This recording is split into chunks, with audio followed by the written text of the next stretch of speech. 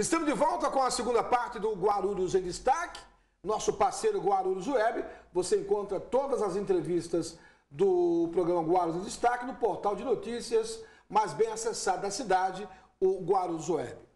Tem um comentado aqui, vereador Giovanni Passos, os contratos auditados que foi grande abordagem do prefeito eleito na sua, na sua campanha eleitoral.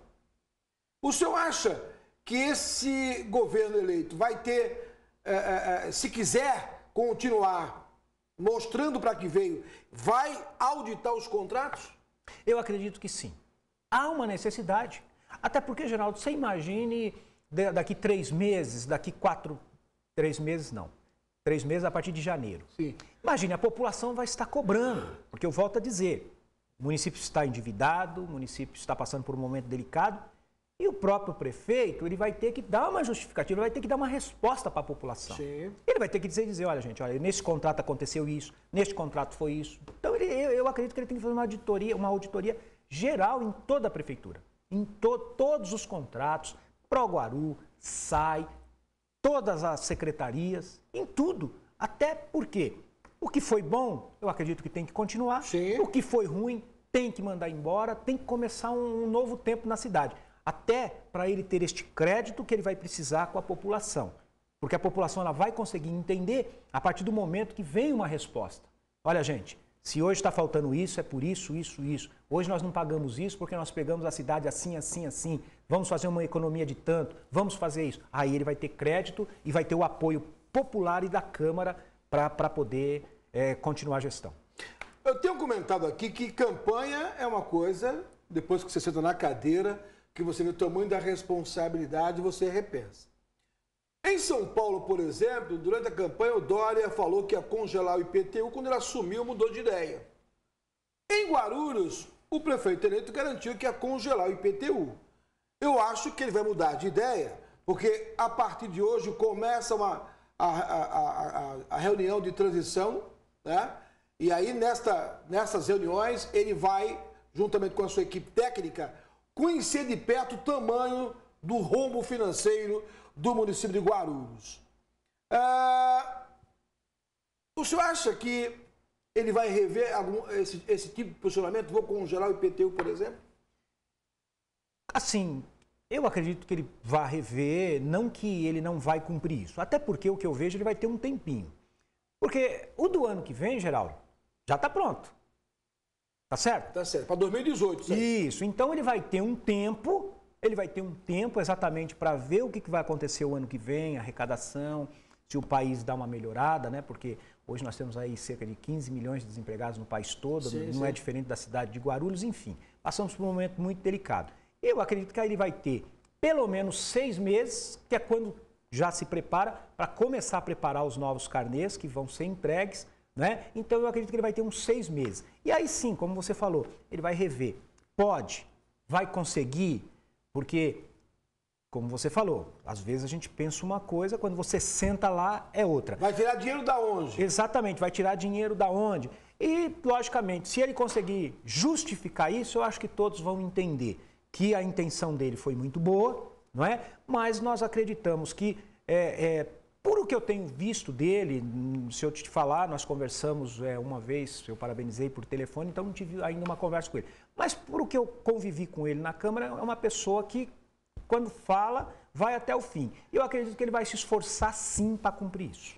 Agora, em relação a duas caixas pretas, é...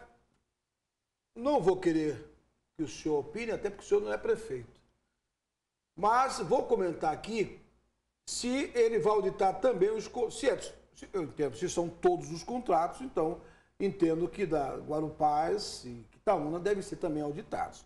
São, todos são todos, não dá para abrir exceção. Agora, vereador Gilvan Passos, nós sabemos que hoje a, você formar um governo, para que esse governo dê certo, você tem que ter sabedoria na, na, na escolha das peças do primeiro escalão. Ah, o senhor entende, como vereador responsável em fiscalizar as contas públicas, e você em casa deveria fazer também, né? Acho que o horário da, das sessões da Câmara Municipal, acho um grande equívoco às 14 horas, mas respeito à maioria. Hoje, a população vai avaliar ou deve avaliar o governo a partir de que momento? Com 90 dias, 100 dias? Qual o momento correto para avaliar o governo?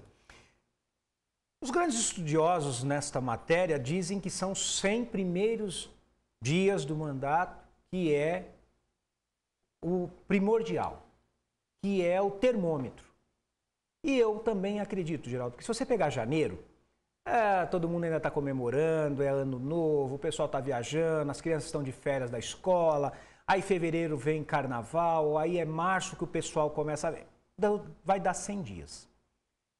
Eu acredito que em 100 dias teremos já algumas respostas. Talvez não consiga se executar. Não tem como. Não dá. Não é mágica. Mas pelo menos, olha, já conseguimos detectar isso. Vai demorar um X tempo para nós melhorarmos isso, aquilo. E aí é onde eu acho que entra é, os técnicos que ele, que ele terá ao seu lado. Não é? Eu acredito que ah, ele também disse isso, eu vi isso no, no, plano de governo sobre coordenadorias, nós temos muitas, não é? Secretarias, eu acho que também tem que ter um enxugamento disso aí, mas eu acredito que os 100 primeiros dias é o que vai dar o norte realmente do que será o seu mandato. E qual é a expectativa do vereador Gilvan Passes em relação ao Guti? O senhor, o senhor teve um bom relacionamento com ele enquanto vereador. É, ser vereador é uma coisa, prefeito é outro degrau, um outro patamar. Ele sabe disso? Acredito que sim. Eu até ontem, quando ele estava na Câmara, a gente sente, já vê nele, no próprio pronunciamento, no falar dele, já. É, o time. O, o time e o peso da responsabilidade. Porque, Geraldo, a gente namora, fica noivo e casa. Quando você acorda já na sua casa, que você voltou da lua de mel, que acabou tudo, que você já foi trabalhar o primeiro dia, que aí quando você chega em casa, tem uma listinha lá, ó. Precisa comprar arroz, precisa comprar feijão, precisa pagar isso. Aí você muda. E quando nasce o seu filho, o seu primeiro filho, é aí que você muda mais ainda.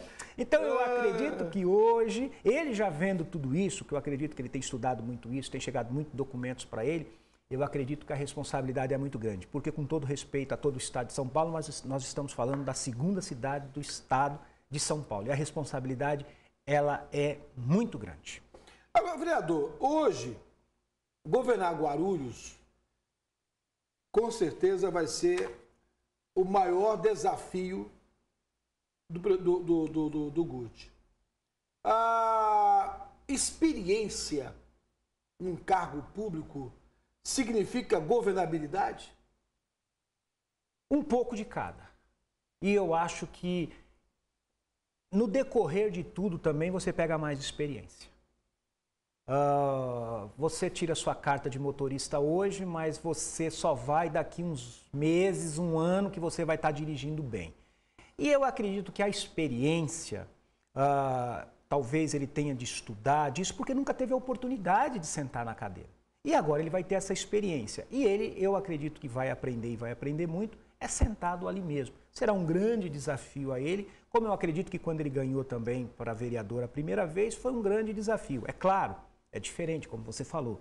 Um é você ser prefeito, porque são vários secretários, é uma Câmara Municipal, é toda uma população te cobrando. Sim.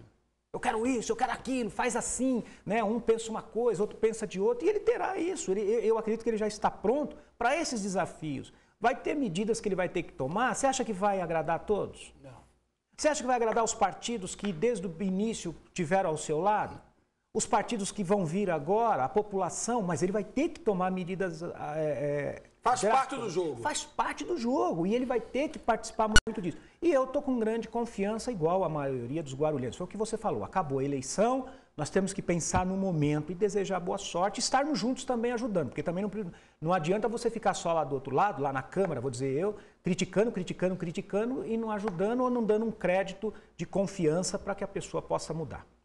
Vereador Van Passos, do PSDB, espero contar com a sua presença semanalmente nessa bancada, até porque, para quem não acompanha, como eu, as sessões da Câmara Municipal, duas da tarde, não dá eu largar minhas atividades de lá. mas a sua presença aqui é de vital importância para atualizar o público que acompanha a TV Destaque. As suas considerações. Mais uma vez, Geraldo, eu quero agradecer e conte comigo sim. Para mim é uma honra, é um prazer muito grande estar aqui com você. Tivemos um tempo aí fora devido à campanha, devido à correria. Mas quero aproveitar também esse momento. Mais uma vez, eu quero agradecer a Deus por esta oportunidade que Ele me deu de novamente, a partir do dia 1 de janeiro de 2017, ter mais quatro anos na Câmara Municipal. Minha esposa, minha filha, minha mãe, a toda a minha família, toda a minha assessoria, a todos os amigos, ministérios, a todos que confiaram, aos 4.784 eleitores que confiaram no Gilvan Passos. Não que eu serei um representante de 4.784, não. Serei um representante de todo o guarulhense. Espero realmente não decepcionar cada voto que eu tive. Contem comigo, Deus abençoe. Mais uma vez, obrigado por essa oportunidade e boa sorte para todos nós. Como é portanto, com o vereador reeleito Gilvan Passos, com mais de 4.700 votos. Gente, revoto pra caramba. Que Deus abençoe o senhor. Amém. Vereador Gilvão Passos, a você, anote, 12 anos. Obrigado, Deus.